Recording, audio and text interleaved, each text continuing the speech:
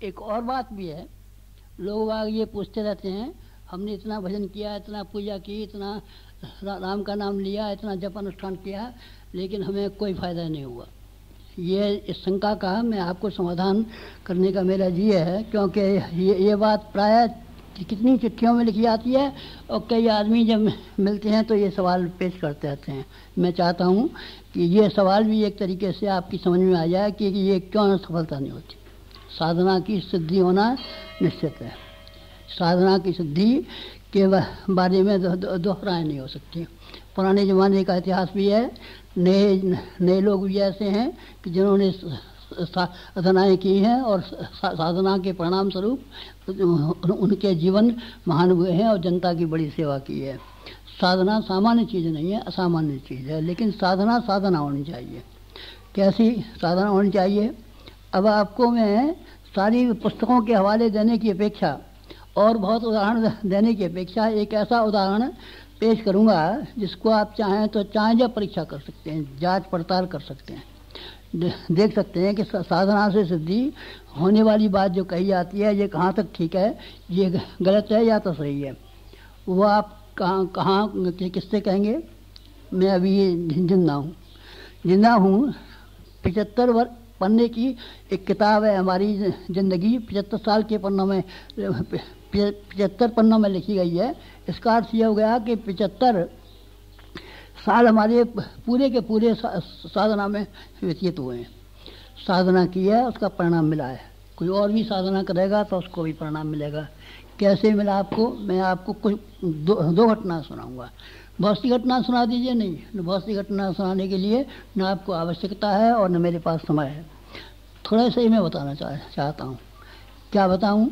एक बात यह है कि पहली बार हमारे पिताजी महामना मालवीय जी के पास दीक्षा दिलाने के लिए और यज्ञोपवीत दिलाने के लिए बनारस ले गए। काशी हम गए और मालवीय जी ने गायत्री मंत्र भी दिया, जनेऊ भी पहनाया और दीक्षा भी दी। साथ साथ में उन्होंने जो बातें कही उनमें से सब बातें तो मुझे याद अब नहीं है। उस वक्त बहुत छोटी उम्र थी बहुत बड़ी उम्र नहीं थी नौ वर्ष के करीब रहूँगा शायद।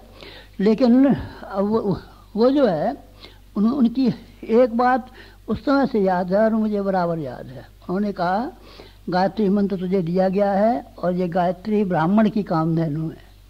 ब्राह्मण की और दूसरे लोगों की नहीं हिंदुस्तान से बाहर जो ब्राह्मण नहीं रहे दूसरे बिरादरी के लोग रहते हैं, उनको नहीं तो उन्होंने कहा, नहीं, ब्राह्मण जन्म से पैदा नहीं होता, कर्म से पैदा होता है। जो व्यक्तिगत जीवन में संयमी है, ईमानदार है, नेक है, शरीफ है, वो आदमी ब्राह्मण कहला सकता है। और वो आदमी ब्राह्मण कहला सकता है, जो समाज के लिए लोग के लिए, देश देश के लिए अपनी बची हुई शक्ति को लगा दे। एक औसत नागरिक की तरीके से जिए औसत भारतीय की तरीके से अपना गुजारा करे और इस गुजारे के, के अलावा अपनी सारी शक्ति और सारी बुद्धि सब भगवान के लिए लगा दे उसको ब्राह्मण कहते हैं। तो अच्छा समझ में आ गया हमने कहा हम इसी तरह की ज़िंदगी जिएँगे और इसी तरह की ज़िंदगी जी करके ये देखेंगे। गांधी जी ने भी ऐसे ही कहा था उन्होंने राजा हरिश्चंद्र का नाटक देखा था और देख करके वो उससे इतने प्रभावित हुए थे, उन्होंने कहा, मैं हरिश्चंद्र होकर के जीऊँगा। हमने भी मालवीय जी को ये वचन दिया कि हम ब्राह्मण होकर के रहेंगे हम ब्राह्मण हैं। ब्राह्मण के के जो लक्षण होने चाहिए, वो सारे के सारे लक्षण हैं। जन्म से भी ब्राह्मण हैं और कर्म से भी ब्राह्मण हैं। कर्म से भी ब्राह्मण हैं। ब्राह्मण की काम कामधेनु है। कौन? गायत्री। जो कोई ब्राह्मण होगा, वो इस काम कामधेनु का दूध पिएगा और देवता की तरीके से मालो माल हो जाएगा, संपन्न हो जाएगा समृद्ध हो जाएगा। जो जो ब्राह्मण नहीं होगा, वो नहीं हो सकता। तो पहली वाली किताब जो हमने छापी थी, उसका नाम था गायत्री ब्राह्मण की कामधेनु। पीछे लोगों ने शिकायत की, हमारा मतलब समझ नहीं सके कि आप तो बामन बनिए का झगड़ा फैलाते हैं और हिंदू मुसलमान का झगड़ा फैलाते हैं, ये कहते हैं। तो मैंने कहा तो आपको समझाना मेरे लिए बहुत बहुत मुश्किल है। क्योंकि हमारा मतलब केवल जीवन के पद्धति से है और आप जन्म से लगाते हैं, अब कौन करे बहस? और हर आदमी से बहस करने कौन जाए? तो दोबारा जो किताब छपी, उसमें से हमने ब्राह्मण शब्द निकाल दिया। और उसका नाम रखा गायत्री ही कामधेनु है। गायत्री कामधेनु है, लेकिन ब्राह्मण की कामधेनु है। उसका जीवन ऐसा शानदार होना चाहिए, नेक होना चाहिए, पवित्र होना चाहिए। यही इसी तरह का हमने जीवन जिया। पंद्रह वर्ष वो उसको नौ नौ वर्ष की उम्र में जब मालवीय जी ने दीक्षा दी थी। और दूसरी एक और दीक्षा मिली। रामचंद्र जी के भी दो गुरु थे। वशिष्ठ जी भी गुरु थे उनके और विश्वामित्र भी गुरु थे उनके। दोनों ही गुरु थे। हमारे भी दो गुरु हैं। एक महामना मालवी जी, जिन्होंने हमको यज्ञोपवेद दिया था। और दूसरे गुरु दूसरे गुरु वो जो हिमालय पर रहते हैं, सूक्ष्म शरीर से। स्थूल शरीर है, उनका नहीं, स्थूल शरीर नहीं है, सूक्ष्म शरीर है। तो सूक्ष्म शरीर को आपने किस तरह से पता लगाया? शिष्य पता नहीं लगाते, गुरु पता लगाते हैं। गुरु पता लगाते हैं कौन आदमी इस लायक है, कौन आदमी इस योग्य है, कौन आदमी इसका पात्र है, वो स्वयं उसके बाद जा पहुँचते हैं। समर्थ गुरु रामदास ने शिवाजी को पकड़ लिया था, चाणक्य ने चंद्रगुप्त को पकड़ लिया था। ये हमेशा समर्थ उन्होंने रामकृष्ण परमहंस ने विवेकानंद को पकड़ लिया था। विवेकानंद ढूँढने नहीं गए थे। हम भी हिमालय वासी जो हमारे गुरु हैं, जो जो हमारे दूसरे आध्यात्मिक गुरु हैं, वो उन्होंने हमारे घर आकर के प्रकाश के रूप में, दीक्षा दी, वो मनुष्य के रूप में, मनुष्य के रूप में है। लेकिन वो सूक्ष्म शरीरधारी है, स्थूल शरीरधारी नहीं है। हमको दिखा लाइए हम कैसे दिखा ला सकते हैं सूक्ष्म शरीर को? सूक्ष्म शरीर के देखने के लिए एक दूसरी तरह की आँखें चाहिए। आपके पास आँखें कहाँ हैं, जिससे कि हम दिखा ला में? और वो आपके मकान पर आए, इस लायक आप कहाँ हैं कि वो आपको ढूंढें? हमारे गुरु, हमारे घर आए और घर आ करके उन्होंने ये हमको पहले जन्मों का हाल बताया और दिखाया कि हम पहले कौन रहे हैं और वो हमारे गुरु रहे हैं। ये हमने देखने के बाद में विश्वास कर लिया कि हाँ यही हमारे गुरु हैं। गायत्री मंत्र फिर दोबारा दिया। तो हमने कहा गायत्री मंत्र पहले से लिया हुआ है फिर आप दोबारा क्यों दे रहे हैं? तो उन्होंने कहा हमारा गायत्री मंत्र का, का मतलब कुछ और है। तुम्हारे गुरु ने पहले मालवीय जी ने बताया था कि ब्राह्मण की काम धेनु है और हम और आप क्या बताते हैं? हम ये बताते हैं कि बो और काटो बो और काटो बो और काटो। क्या मतलब क्या बोए? जो कुछ भी आपके पास है उसको आप भगवान के खेत में बोइए और सौगुनी फ़सल कमाइए। बाजरा हम खे, खे, खेत में बोते हैं एक बीज के सौ बीज मिल जाते हैं। मक्का खेत में बोते हैं एक मक्का के बदले में सौ मक्का मिल जाती हैं। ज्वार हम खेत में बोते हैं एक ज्वार के बदले में सौ ज्वार मिल जाती हैं। इसी तरीके से भगवान के खेत में जो बोया हुआ है वो सौगुना होकर के मिल जाता है। तो हमने कहा, क्या चीज़ बोए बताइए? तीन चीज़ वो हैं जो कह, तुम जन्म से संग लेकर के आए हो। और एक चीज़ वो है जो संसार में मिली है। चार चीज़ें हैं, चारों चीज़ों के भगवान के खेत में वो कौन कौन सी हैं, चार चीज़ें बताइए। तो उन्होंने कहा, एक है समय, एक है श्रम, एक है बुद्धि। ये तीन चीज़ तो ऐसी हैं जो कि भगवान के यहाँ से मिली हैं। जन्म के साथ ही आदमी इनको लेकर के आता है। समय भी उसको लेकर के आता है। काम करने के लिए हाथ पाँव भी संग लेकर के आता है और मस्तिष्क में बुद्धि भी संग लेकर के आता है। ये भगवान की दी हुई नियामत है। और एक चीज़ जिसको हम रुपया पैसा कहते हैं, धन क्या कहते हैं, ये वो है जो कि संसार में कमाया जाता है या पहले जन्मों में अगर दिया होगा तो वो मिल जाता है। हमने दुकानदारी तो नहीं की है, खेती भी नहीं की है, नौकरी भी नहीं की है, लेकिन हमारे पिताजी जो थे, बहुत संपन्न थे और बहुत संपन्न होने की वजह से वो हमारे हिस्से का भी बहुत सारी ज़मीन छोड़ के गए थे। तब हमने चारों चीज़ों को दिया। अपना समय अपना समय, जितना समय सोने में हमारा व्यतीत हो गया, खाने में, नहाने में व्यतीत हो गया उसके लिए तो हम नहीं कह सकते, लेकिन बाकी समय जो है अगर पूजा भजन भी अगर मान लें तो हमने समाज के लिए किया है देश के लिए किया है, परमार्थ के लिए किया है, स्वयं के लिए नहीं किया है। न सिद्धि के लिए किया है, न रिद्धि के लिए किया है, न मुक्ति के लिए किया है, न स्वर्ग के लिए किया है, हमने किसी के लिए नहीं किया, उसमें स्वार्थ का नाम भी नहीं है।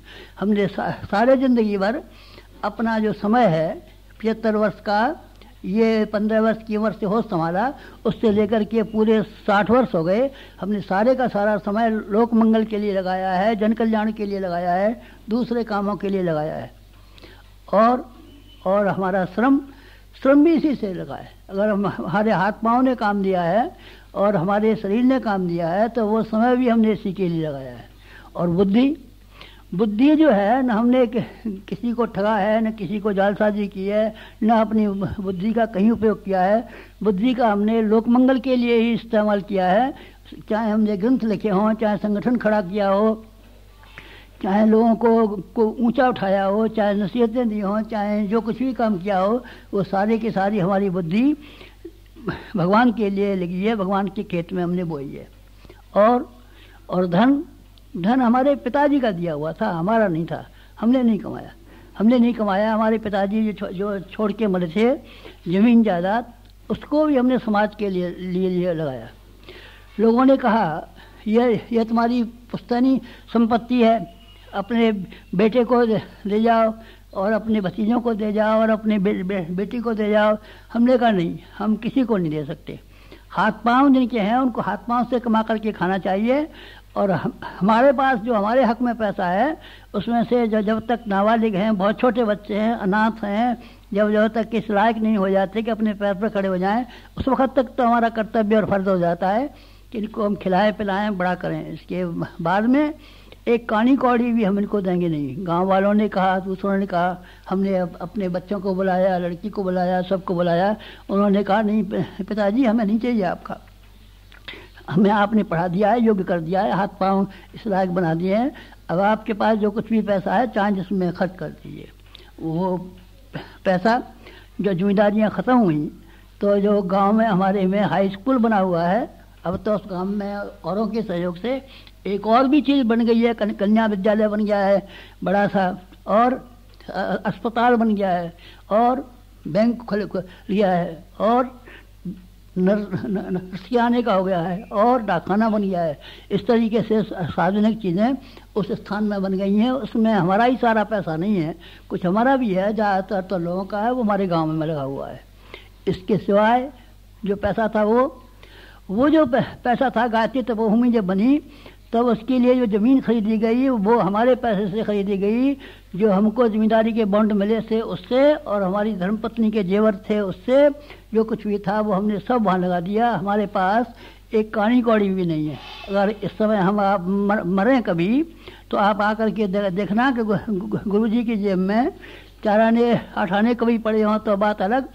लेकिन कहीं आपको हमारा हिसाब कोई अकाउंट कोई ऐसा नहीं मिलेगा कि गुरुजी ने व्यक्तिगत रूप से कहीं जमा करके रखा है या अपने किसी बेटे को दे दिया है, बेटी को दे दिया है, जमाई को दे दिया है, हमारा कानी कौड़ी भी किसी काम में खर्च नहीं हुई है। ना आज तक किसी ने शक किया है और न कोई शक कर सकता है और न हम शक करने देंगे। जो कोई शक करेगा, उसकी जवान खींच देंगे अगर हमारे ऊपर यह शक किया कि इन्होंने कोई पैसा, सार्वजनिक पैसा खाया है या इनके पास स्वयं का कमाया हुआ या पुस्तनी कमाया हुआ पैसा जमा है तो हम उसको ये करेंगे। तो ये क्या हुआ? फिर हमने जो कुछ भी चारों चीज़ें थी, हमारी सारी ज़िंदगी लगी है, जिसमें पूजा भजन भी है, वो लोक मंगल के लिए लगा हुआ है। दूसरे लोगों ने चेहरे बनाने के लिए अपना तप किया हुआ सिद्धि दिखाने के लिए, करामात दिखाने के लिए, चमत्कार दिखाने के लिए, स्वर्ग जाने के लिए, मुक्ति पाने के लिए सिद्धि पाने के लिए किया होगा, लेकिन हमने बिल्कुल नहीं किया। हमने समाज का हित देखा कि समाज के हित में, लोक मंगल में और सत प्रवृत्तियों के संवर्धन में हम क्या कर सकते हैं? ये चारों के चारों चीज़ें लगा दी। फिर चारों की चारों चीज़ों से क्या मिला? साधना ये हमारी हो गई। पूजा भी इसी में आ गई। साधना हमारी ये हो गई और इससे हमको सिद्धि मिली। क्या सिद्धि मिली? सौगुनी सिद्धि मिली। कैसे? समय हमारा जो है, जो लोकमंगल के लिए लगा, ये अब हम पिचहत्तर वर्ष के हैं, लेकिन पिचहत्तर वर्ष की उम्र में भी हमारी शरीर की दृष्टि से आप ये नहीं कह सकते कि ये बुढ़ा हो गया और ये मरने के लिए बैठा हुआ है। हम चाहें तो 25 वर्ष अभी और भी जी सकते हैं। सौ वर्ष के सात वलेकर पंडित थे, उन्होंने वेदों के भाष्य किए थे, सौ वर्ष जिए थे। और हमने वेदों के भाष्य भी किए हैं, पुराणों के भाष्य भी किए हैं, उपनिषदों के भाष्य भी किए हैं, हम सौ वर्ष जी भी सकते हैं। लेकिन अगर हमारे मास्टर ने हमारे गुरु ने ये आज्ञा दी कि तुम्हें किसी और जगह ट्रांसफ़र करने हैं तो हमें इसमें भी आपत्ति नहीं है, शरीर से कोई मोह भी नहीं है हमको। लेकिन कोई हमको ये कहे कि हम बीमार होकर मरेंगे या हमारी कम उम्र हो जाएगी तो पचहत्तर वर्ष में आदमी का क्या रहता है? आप देखिए ना, ज़्यादातर आदमी साठ वर्ष के, पचास वर्ष के, साठ और सत्तर के बीच में मर के ख़त्म हो जाते हैं। लेकिन हमारी अभी उमंगें हमारी हिम्मत और हमारी हमारी मशक्क़त हमारा काम करने का ढंग, हमारी कल्पनाएँ, हमारी स्कीमें, सारे संसार को ऊँचा उठा ले जाने वाली स्कीमें, बड़ी स्कीम है हमारी। हमारा कलेजा बहुत बड़ा है। श्रम श्रम हमने किया है। किसके लिए किया है श्रम? न हमने एक अपनी बीबी के लिए किया है, न अपने बच्चों के लिए किया है, न अपने कुटुंब वालों के लिए किया है, न अपने ख़ानदान वालों के लिए किया है, न न अपने लोक, परलोक के लिए भी नहीं किया है। जो कुछ भी हमारा श्रम इस सारे ज़िंदगी का खर्च हुआ है, वो समाज के लिए खर्च हुआ है। उससे क्या मिला आपको? उससे ये मिला कि हमने जो सेवाएँ की हैं, उससे लोगों का प्यार मिला है हमको। वो प्यार वो प्यार ही है जो कि आप संगठन के रूप में देखते हैं। आप संगठन हमने बनाया है मेंबर बनाते हैं हम, नहीं, हम कुटुंब बनाते हैं। कुटुंब कुटुंब किसे कहते हैं? जिसमें कि इतनी ज़्यादा घनिष्ठता उतना ज़्यादा प्यार हो कि जो जो लाखों आदमी हमारे पीछे पीछे उंगली के इशारे पर चलते हैं वो चाहे हम तो जान दे दे सकते हैं। नहीं हम वो फलाना बाबा जी कह रहा था कि हम फोड़ लेंगे इसको और इनकी यहाँ व्याख्यान देंगे तो इनको अपना बना लेंगे और आप कैसे विरोधी कर देंगे? आप बना के दीजिए ना कौन सा बाबा जी है? हम देखेंगे उसको। जो हमारे हम हमने खून पसीने से सींच करके जि, जिस बगीचे को फलवारी को एक किया है कोई छुए तो सही आँखें निक, आँखें निकाल लेंगे उसकी। इस तरीके से ये ये जो हमारा है इतना प्यार पाया हमने ये हमने प्यार बांटा है और प्यार पाया है। प्यार बखेरा है और प्यार समेटा है। हमारी ज़िंदगी में प्यार ही प्यार भरा हुआ है। प्यार दूसरों ने शब्द सुने होंगे लेकिन हमारी ज़िंदगी में अगर आप आकर के देखें तो सिर से लेकर के पैर तक प्यार ही प्यार भरा हुआ है। ये हमारा श्रम है। और हमारी बुद्धि बुद्धि को, को आप देख लीजिए। बुद्धि को देख लीजिए किसी और को आप नहीं देखना चाहें तो आप हमारे साहित्य को ही देख लीजिए। हमारे शरीर की की वज़न की बराबर बराबर साहित्य है। और कोई कोई ऐसा लंगड़ा लूला साहित्य नहीं है कि यहाँ से काटा और वहाँ से लिखाया और वहाँ का चिपी चिपका दी और वहाँ से ले लिया, वैसा नहीं है। एक एक लेख लिखने में हमको पसीने आए हैं और महीनों में एक एक लेख लिखा गया है। इस तरीके से हमारी बुद्धि बुद्धि का भी विकास हुआ है और बुद्धि केवल लेखन तक सीमित नहीं रही है। हमने ऐसी बड़ी स्कीमें बनाई हैं जो कि न, न केवल हमारे गाँव तक सीमित रह सकती हैं न हमारे ज़िले तक परगने तक बल्कि सारे सारे हिंदुस्तान तक और सारे संसार की समस्याओं के को समाधान करने के लिए हमारी बुद्धि बुद्धि काम करती है। काम करती है ये बुद्धि आप बुढ़ापे में आपकी बुद्धि कमज़ोर तो नहीं हो गई नहीं हमारी हमारी बुद्धि बुढ़ों की कमज़ोर हो जाती है। बुढ़े बुढ़िया आपस में लड़ा करते हैं और बुढ़ों की याददाश्त कम हो जाती है और बुढ़ो, और और बुढ़े भूल जाते हैं। और आप नहीं, हमारी न याददाश्त कम है, न हम किसी से लड़ाई झगड़ा करते हैं और न हमारे विचार करने में, चिंतन करने में कोई कमी आई है। ये क्या है? ये वो है जो हमने बोया और काटा। और क्या आपने बोया? और बोया हमने धन। समेटा अरे समेटा नहीं, बखेरा हमने। बोया बोया, क्या क्या बोया? जो कुछ भी हमारे हमारे हमारे पास था, पुरखों का कमाया हुआ था, इसका कमाया हुआ था, हमने सब लगा दिया। हमारी बीवी के जेवर हमने बेच दिए और जेवर बेच करके उसको लगा दिया। लड़की की ब्याह शादी हुई, फूलों के जेवर पहनते हुए हर एक ने देखा कि ये इसको फूलों के जेवर पहना जा रहे हैं। इस तरीके से हमारे यहाँ जो हमने धन दिया समाज को, जनता को, भगवान के खेत में जो बोया, वो धन कितना बड़ा होकर के आया है? आप देखिए ना, हम, हमने किसी को, किसी के आगे हाथ नहीं पसारा है आज तक। आज तक हमने किसी से ये नहीं कहा है कि आप एक एक पैसा दे जाइए। लेकिन आप गायत्री तपोभूमि जाकर के देखिए। हमारी जन्मभूमि में जाकर के अमरखेड़े में देखिए। और और आप यहाँ आइए शांत कुंज में देखिए। और और आप मथुरा की युग निर्माण योजना को देखिए। यहाँ के ब्रह्मचस को देखिए। इनकी इमारतों के हिसाब लगाइए। ये करोड़ों रुपए की इमारतें हैं। ये कैसे हो गया? ये हमने बोया था और ये काटा है। दू, दूसरे लोग दूसरे लोगों ने बोया नहीं है इसलिए काटते नहीं है। भीख मांगते फिरते हैं चंदा मांगते फिरते हैं जालसाजी करते फिरते हैं ठगी करते फिरते हैं लोगों को चंगुल में फंसाते फिरते हैं। नहीं हमने हमने किसी को चंगुल में नहीं फंसाया और न हमने किसी के आगे ये, ये पसारा हाथ। तो ये हमारा जो था धन वो भी जो वो भी जो का त्यों आ गया। फिर फिर बोया और काटा वाली जो जो थी बात वो हमारी सौगनी हो गई। ये आप सिद्ध पुरुष हैं हम सिद्ध पुरुष हैं। अभी यहाँ के अभी की बात नहीं है कुछ पुरानी बात हो गई। भारत के एक बहुत ऊँचे सरकारी सरकारी एक वो थे मिनिस्ट्री के ये तो वो आए और उन्होंने कहा गुरु जी आपके बारे में बहुत सी बार बातें सुनी गई हैं। कि आप में ये सिद्धियाँ हैं और आप ये कर देते हैं और आपका वचन कभी खाली नहीं जाता और कि, किसी को आप वो संगी ऋषि की तरीके से संगी ऋषि के तरीके से साप दे देते हैं तो उनका अकल ठिकाना जाती है। और आप कि, किसी को अच्छा कर देते हैं तो उसका अच्छा हो जाता है। ये आपको सिद्धियाँ कैसे आई? और ये आपने कौन सा मंत्र जब किया? और किस तरीके से ये किया? आपके बारे में तो बहुत बहुत तरह की बातें कही जाती हैं। तो हमने कहा जो बहुत सी बातें कही जाती हैं जो आपका मतलब पूजा पाठ से है। कि उन्होंने कहा हाँ, हमारा मतलब यह है कि ऐसी पूजा पाठ हमको भी सिखा दीजिए ताकि हमको भी इस तरीके से हो जाए। हमने कहा हमने जो पूजा पाठ किया है वो तो हमारा तिजोरी में बंद करके रखा हुआ है। वो समाज के लिए है। और और जो हमारा है जिसको आप प्रत्यक्ष देखते हैं आपको हमारे अंदर कोई विशेषता दिखाई पड़ती हो, कोई व्यक्तित्व में विशेषता दिखाई पड़ती हो, कोई हमारी वाणी में चमत्कार दिखाई पड़ता हो तो आप उसको ये मानिए कि ये ब्राह्मण का वो है।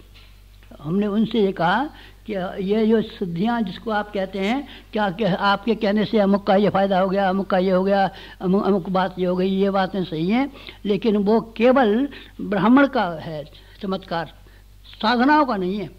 साधना हमने की है। कार्तिक की उपासना की है अनुष्ठान किए हैं अभी भी उपासना कर रहे हैं अनुष्ठान कर रहे हैं लेकिन ये स्वयं के लिए नहीं कर रहे हैं अपनों के लिए नहीं कर रहे हैं लेकिन अपनों के लिए जो हमने किया है जो जो कुछ भी हम, हम हमारे व्यक्तित्व के साथ जुड़ा हुआ है ये हमारे ब्राह्मण का का वो है फल है ये हमारे पूजा का फल नहीं है। पूजा का फल, हमारी का अनुष्ठान का फल सुरक्षित रखा हुआ है और वो समाज के काम आएगा, जन कल्याण के काम आएगा, सत्प्रवृत्ति संवर्धन के काम आएगा। इस तरीके से साधना से सिद्धि नाम की एक किताब भी लिखी है। हमने उसमें प्रज्ञा, श्रद्धा और निष्ठा के ऊपर बहुत ज़ोर दिया है। हमने कहा, केवल माला घुमा देना, पूजा कर लेना, भजन कर लेना, पानी से चढ़ा देना, उपवास कर लेना, आँखें बंद कर लेना और ये कथा कह देना, कीर्तन कर लेना, ये ये उपासना नहीं है। जीवन को उपासना से ढलना पड़ता है, भगवान के को समर्पित करना पड़ता है। कहते हैं, हम तुम्हारे हैं। तुम्हारे किसके हैं? भगवान के। भगवान कौन? सत्य प्रवृत्तियों का समुच्चय। उसको भगवान कहते हैं। भगवान कोई व्यक्ति नहीं है कि जिसको जाकर के हम दे दें कि लीजिए साहब हमारी आप पाँव ले, ले लीजिए और आप हमारे हाथ ले लीजिए और आप हमारी मिठाई खा जाइए और ये कीजिए ऐसा कोई भगवान नहीं है। तो इस तरीके से सत्प्रवृत्तियों के समुच्चय को हमने समर्पण किया है। ये समर्पण उपासना है हमारी। साधना जीवन को हमने इतना ज़्यादा धोया और इतना कसा है जैसे कोई धोबी अपने धोबी अपने कपड़े को जिस तरीके से उबालता है और पीटता है सुखाता है उस तरीके से हमने अपने आप को जीवन को धोया है सुखाया है पीटा है और ठीक तरीके से इस तरीके से रखा है जैसे कि एक सच्चे ब्राह्मण को होना चाहिए। और उपा, उपासना एक साधना दो आराधना तीन। आराधना किसे कहते हैं? आराधना कहते हैं समाज की सेवा को अच्छाइयाँ बढ़ाने को। लोक मंगल दूसरे आदमी हैं जो अपना भजन करते हैं और हमारी मुक्ति मिल जाए और भगवान हमको दिखाई पड़ जाए और भगवान हमारे पास आ जाए और भगवान हमको ये दे जाए और भगवान हमारा ये कर जाए, हमने ये कभी भी नहीं किया। हमने केवल आराधना की है। समाज के लिए ये किया है और उसका परिणाम उसका परिणाम देखिए उसका परिणाम आप देखिए, यहाँ आइए, अपने मुँह कहने से शोभा नहीं देता हमको कि हम अपनी बड़ाई करें, लेकिन दूसरों के मुँह से सुनिए कि हम सामान्य व्यक्ति नहीं हैं, असामान्य व्यक्ति हैं। और असामान्य व्यक्ति हमारी साधना का परिणाम है, उपासना का परिणाम है, आराधना का परिणाम है, और हमारे ब्राह्मणत्व का परिणाम है। आप चाहे पूजा को को मानिए गौण और जीवन को ऊँचा बनाने को मानिए मुख्य। बस यही है अगर आप इस तरीके से कर पाएँ तो आप पाएँगे कि आपको साधना से सिद्धि मिलेगी। हम हमारे सब बात, जो भी आते, आदमी आते हैं, जो भी हमारे मित्र हैं, जो भी घनिष्ठ हैं, उन सबको हम ये कहते हैं कि आप बो और काटो जो अपना समय है, सारे के सारा अपने घर वालों के लिए, बच्चों के लिए, कमाने के लिए व्यापार के लिए मत खर्च करो। कुछ भगवान के लिए भी इसमें से निकालो। और अपनी कमाई का हिस्सा अपनी कमाई का हिस्सा सारे का सारा अयासी में, चूर खर्ची में, जमा, जमाखोरी में, इस, इन इन कामों में मत खर्च करो। कम में गुजारा करो। और कम में गुजारा करने के बाद में जो कुछ भी तुम बचा सकते हो, वो लोक कल्याण के लिए, जनमंगल के लिए और गिरोहुओं को उठाने के लिए पिछड़ों को ऊँचा उठाने के लिए, आगे बढ़ाने के लिए खर्च करो। अगर खर्च करेंगे तो आपकी साधना से सिद्धि वाला सिद्धांत सही हो जाएगा। आप हमारी पुस्तक में पढ़ लीजिए, हमारे जीवन को पढ़ लीजिए, यही हमने किया है और यही हमने पाया है। आप भी इसी रास्ते पर चलना चाहें तो आप भी हमारे ही तरीके से ये सब चीज़ें पाएँगे जो हमने पाई हैं। हमने बहुत पाया है और आप भी बहुत पा सकते हैं। लेकिन इसकी शर्त यह है कि आपकी उपासना सच्ची हो, न केवल ऐसी हो कि बस माला घुमा दी और यहाँ यहाँ प्रणाम कर लिया देवी देवताओं को नमस्कार कर लिया, परिक्रमा कर ली, गंगा जी नहा लिए और मंदिर पे आरती उतार दी। नहीं, इस, इससे नहीं, इससे बात नहीं बनेगी। ये तो श्रृंगार है। श्रृंगार भी श्रृंगार भी हम करते हैं। देखिए, हमारे सिर पर टोपी लगी हुई है, टोपा लगा हुआ है, ये हम कुर्ता पहने हुए हैं कुर्ते के ऊपर ये ये स्वेटर पहना हुआ है। ये श्रृंगार है सब चीज़ों का। ये ये श्रृंगार है, ये जो पूजा उपासना है उसके जितने भी कर्मकांड हैं, ये सब श्रृंगार हैं। और इसका प्राण प्राण है मनुष्य का जीवन को ऊँचा उठना, दयालु होना, सेवाभावी होना परोपकार में विचार करना। बस ये है शंका का समाधान, जो लोग अक्सर पूछते हैं कि आपकी साधना क्यों सिद्ध हुई और हमारी साधना क्यों सिद्ध नहीं होती। आपकी साधना उस वक्त तक सिद्ध नहीं हो सकेगी, जब तक कि हमारे साथ, हमारे कदम से कदम मिला के नहीं चलेंगे। जो चले हैं गांधी जी ने इसी तरीके से जीवन जिया, भगवान बुद्ध ने इसी तरीके से जीवन जिया, विनोबा भावे ने इसी तरीके से जिया। जिन लोगों ने अपने जीवन ऐसे इस तरीके से जिए हैं, उनको सबको सिद्धि मिली है और वो सब महापुरुष हुए हैं। आपके लिए ये रास्ता खुला हुआ है, आप चाहें तो इसके ऊपर चल चल चल सकते हैं और वही फ़ायदा उठा सकते हैं जो कि पुरान पुरातन काल में उठाते रहे और इस ज़माने में हमने उठाया। बस, आज की बात समाप्त। अगर आपको हमारी यह वीडियो पसंद आई हो तो इसको लाइक करें, कमेंट और शेयर ज़रूर करें और हमारे YouTube चैनल ऋषि चिंतन को सब्सक्राइब भी कर लें। साथ ही बेल आइकन को भी दबाएँ ताकि आपको आने वाली वीडियोस की नोटिफिकेशंस मिलती रहें। धन्यवाद।